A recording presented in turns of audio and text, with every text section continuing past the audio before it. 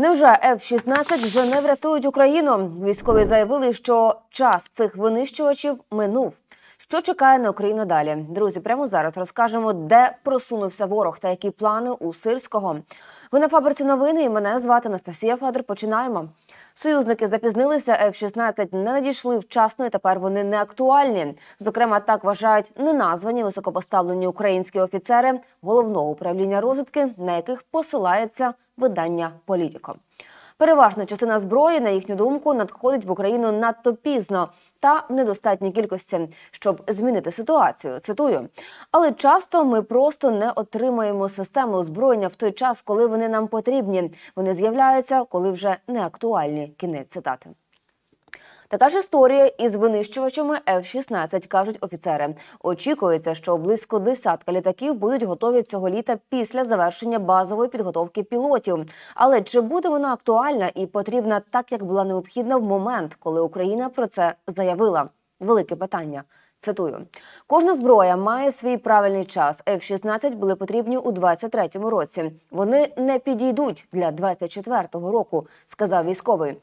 За словами цього офіцера, Україна ще не отримала західні винищувачі, а Росія вже готова їм протистояти. Росіяни швидко адаптуються до застосування нової зброї та протидіють їй, кажуть розвідники.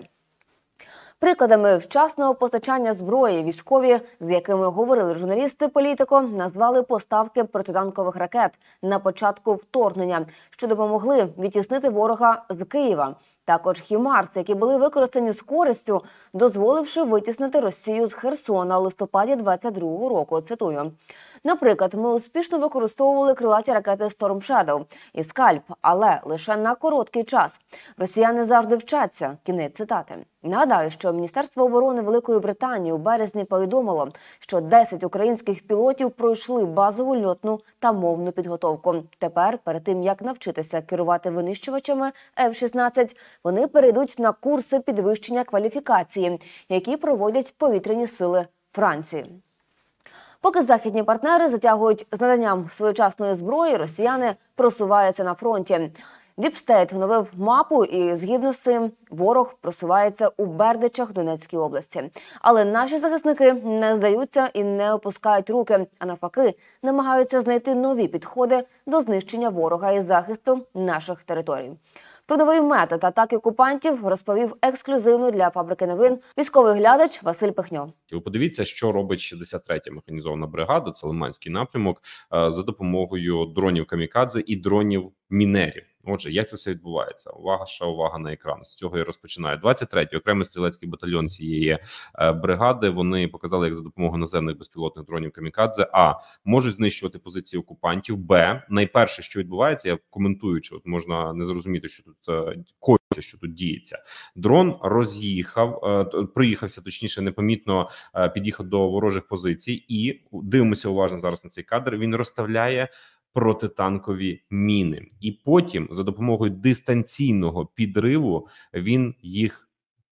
Ну, підриває ці протитанкові міни, які звісно що призводять до значних руйнувань. Зараз ворог максимально активізувався на багатьох напрямках, і всі експерти і аналітики схиляються до того, що Путін готує ще один наступ вже на літо.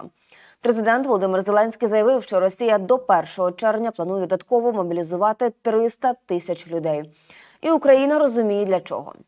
Чітко розуміємо, до чого готуються в Росії, що вони хочуть, під що збиратимуть солдатів в свою армію.